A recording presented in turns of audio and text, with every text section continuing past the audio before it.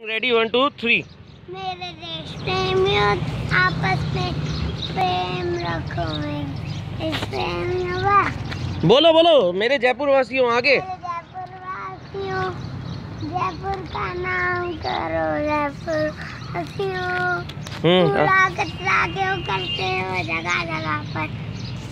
आज और अभी से प्रण करो कि हम ना फैलाएँगे कचरा इधर उधर।